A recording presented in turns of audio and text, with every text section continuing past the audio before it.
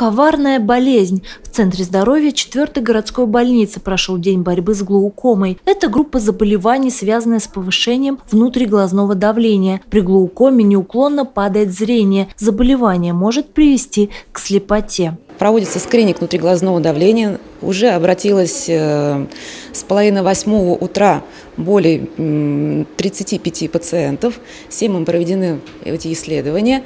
Э, повышение внутриглазного давления выявлено у э, четырех пациентов. В России глукомой страдает около миллиона людей, но это только выявленные случаи. Пациенты прибывают с самого утра, многие едут издалека. В Центре здоровья глазное давление проверяют бесконтактным способом с помощью пневмотонометра. В глаз пациента направляют поток воздуха. Процедура не заставляет дискомфорта. Коварство этого заболевания заключается в том, что на первых стадиях, когда человеку можно еще помочь и э, назначить лечение, э, человек ничего не замечает.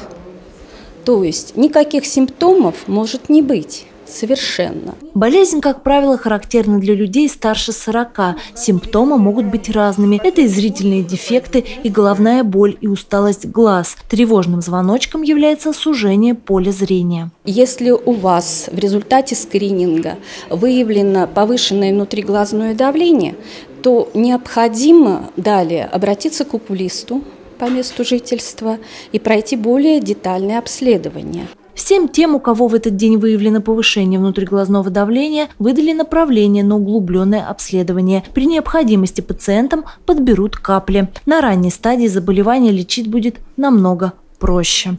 Мария Попова, Денис Денисов, РТВ Иванова.